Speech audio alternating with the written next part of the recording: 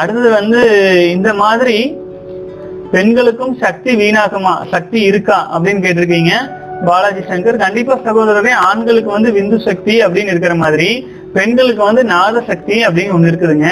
விந்து சக்தி நாத சக்தி ரெண்டுமே ஆண்களுக்கு வந்து நம்ம வந்து விந்து ஜெயம் பயிற்சியின் மூலமாக நாதத்தோட ஐக்கியம் பண்றோம். பெண்கள் வந்து நாதத்தை எடுத்துட்டு போய் விந்து கூட ஐக்கியம் ஐக்கியம் பண்றாங்க. அவங்க கிட்ட இருக்கிறது மேல இருக்கிறது வந்து விந்து சக்தி கீழே இருக்கிறது வந்து நாத சக்தி. ஆகவே பெண்களுக்குமே வித்து சக்தி வீணாக்காமல் இருந்தா அபரிமிதமா எனர்ஜி கிடைக்கும் ஆண்களுக்கு கிடைக்கிற மாதிரியே. என்ன அவங்களுக்கு வந்து கண்டினியூஸா காம்பவுண்ட் எஃபெக்ட்னு சொல்லுவாங்க இந்த பேங்க்ல வட்டி போடுறவங்க. வட்டிக்கு மேல வட்டி. அந்த வட்டிக்கு மேல வட்டி போடுறது பெண்கள் கிட்ட இருக்காது அப்படிங்கிறது பெரும்பாலான யோகிகள் சொன்னது. ஏன்னா பீரியட்ஸ் டைம் அந்த கருமுட்டை உற்பத்தி அந்த மாதிரி போயிருது. சோ ஆகவே இருந்தாலும் பெண்களுக்கு வந்து அந்த சக்தி கிடைச்சதுனாலதான் ஔவையார்ல இருந்து காரைக்கால் அம்மையார் காக்கை பாட்டினியார் எத்தனையோ பேர் வந்து இருந்தாங்க. ஆகவே சக்தி இருந்தது இருக்குது. நான் கேட்ட வரைக்குமே பல ஆங்கில மீடியாக்கள்ல வந்து பெண்கள் வந்து இதுக்குன்னே தனி சேனல் ஓபன் பண்ணிட்டு பேசிட்டு இருக்காங்க.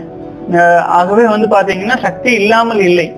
அது வந்து பெண்கள் வந்து பயிற்சி செய்து பார்த்து இன்னும் தமிழ் பெண்கள் பார்த்துட்டு கிளியர் பண்ணாங்கன்னா இன்னும் நல்லா இருக்கும். வாழ்க வளமுடன்.